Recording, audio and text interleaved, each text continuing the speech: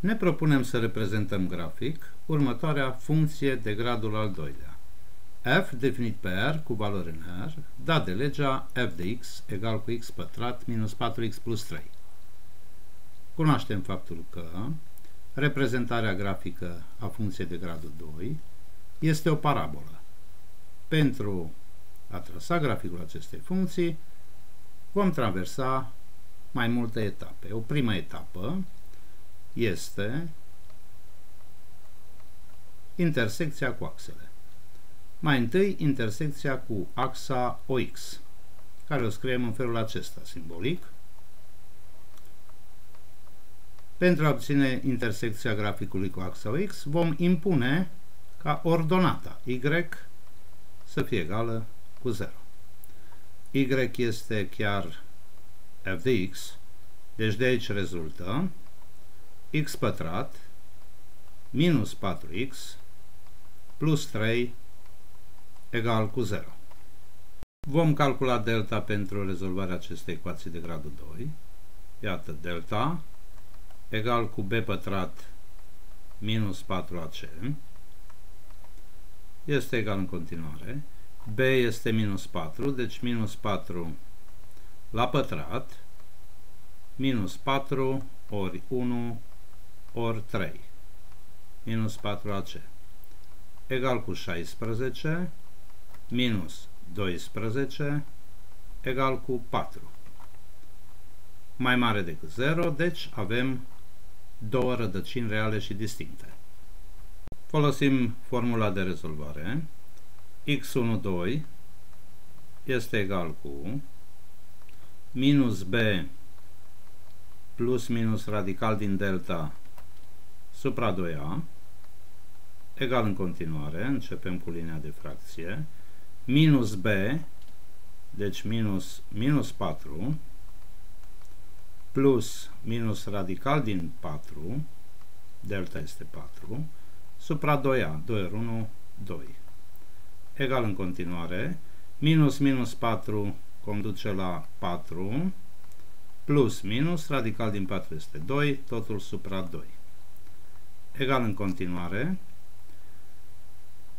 vom avea două soluții. Mai întâi x1 egal cu 4 plus 2 supra 2, adică 6 supra 2 egal cu 3. Și x2, a doua rădăcină, a doua soluție, x2 egal cu 4 minus 2, adică 2 supra 2, egal cu 1. Dacă x este egal cu 3, rezultă punctul de intersecție cu axa OX 3, căci abscisa este pe primul loc, și 0. Iar al doilea punct de intersecție cu axa OX este punctul de coordonate 1, 1 este abscisa, și de asemenea ordonata 0. Trecem acum la intersecția cu axa Y. Intersecția cu axa Y se obține impunând de data aceasta abscisa, adică x, să fie egală cu 0. Ordonat o aflăm, calculând valoarea funcției în punctul 0, adică f de 0, care este egal cu legea funcției este x pătrat minus 4x plus 3, deci 0 la pătrat minus 4 ori 0 plus 3 egal desigur cu 3. Rezultă în felul acesta punctul de coordonate 0, 3. Din nou suntem atenți la abscisă, care este 0, și ordonata 3. Trecem acum la o a doua etapă pe care o considerăm în uh, determinarea graficului funcției și anume vârful parabolei. Deci 2, vârful parabolei, adică punctul V de coordonate. Așa cum se poate urmări și în partea dreaptă a ecranului, vârful parabolei pentru cazul general este minus b supra 2a minus delta supra 4a și aici mai pot fi urmărite și precizările privind maximul sau minimul funcției în raport cu semnul coeficientului a. Revenim și vom scrie și noi această formulă V de coordonate minus B supra 2A, abscisa vârfului, și minus delta supra 4A. Calculăm mai întâi minus B supra 2A egal cu minus B este minus 4 supra 2A de supra 2 egal cu 4 supra 2 egal cu 2. Minus delta supra 4A este egal cu, începem cu minus linie de fracție, delta a fost calculat mai sus, delta este egal cu 4, supra 4a, supra 4, egal cu minus 1.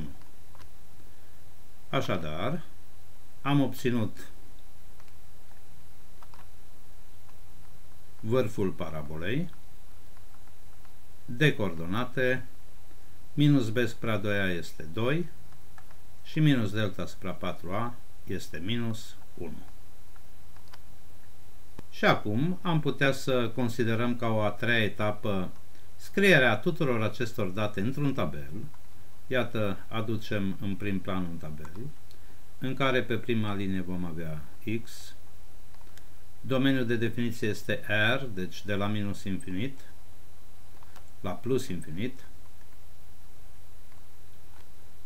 valorile importante pentru x sunt de la intersecția cu axa X 3 și 1, abscisele, deci vom scrie 1 și 3, deci 1 și 3. De asemenea, vârful parabolei pentru abscisă avem x egal cu 2. Și a doua linie pentru f de x comportamentul funcției.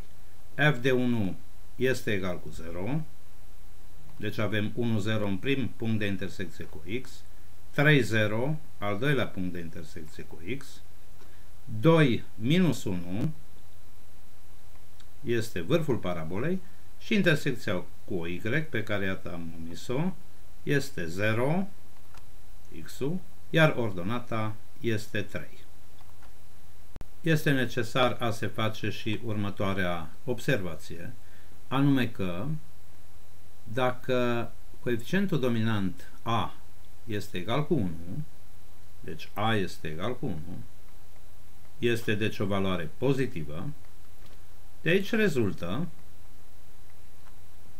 conform cu datele care le-am expus în partea dreaptă, deci dacă A este pozitiv, minus delta supra 4A, în cazul nostru minus 1, reprezintă minimul funcției. Este minim, minim de f de x.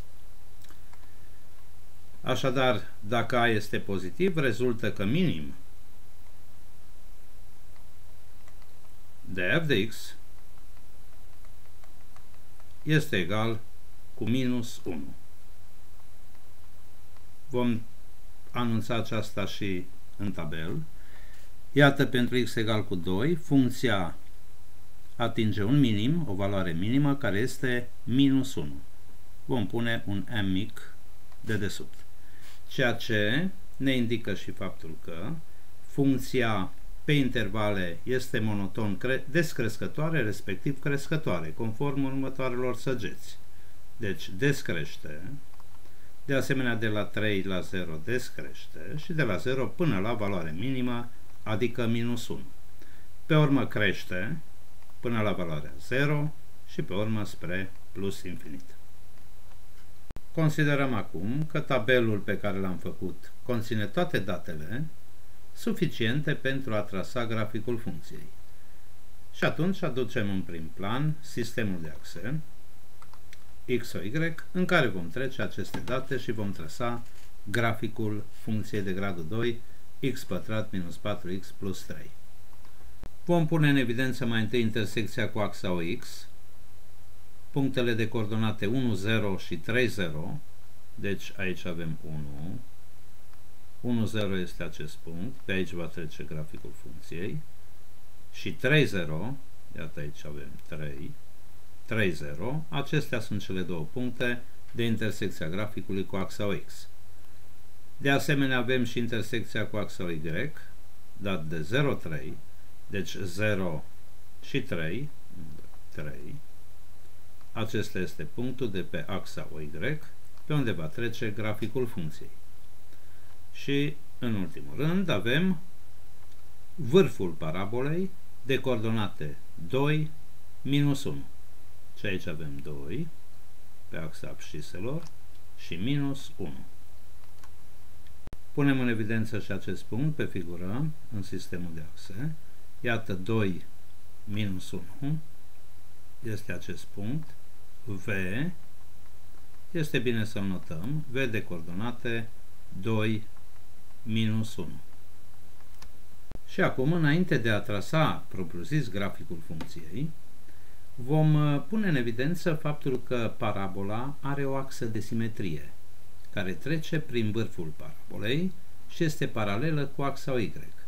Iată această axă de simetrie care ne va ajuta să trasăm cât mai corect graficul, cât mai corect parabola.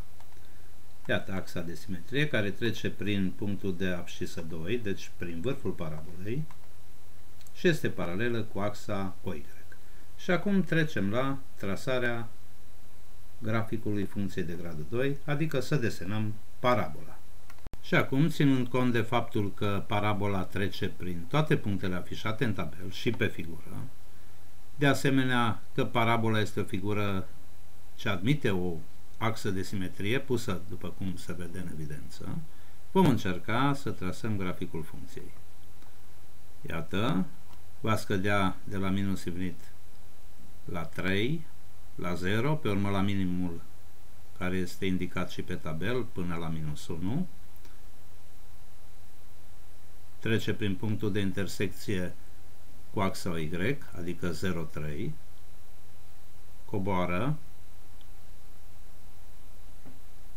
atinge primul punct de intersecție cu axa X, adică 1,0, coboară mai departe și ajungem la vârful parabolei, la minimul minus, minus 1 al funcției, după care funcția crește până la punctul de intersecție cu axa X, al doilea punct de intersecție, și crește în continuare spre plus infinit. După cum se vede, încercăm, ne străduim cel puțin, să respectăm axa de simetrie.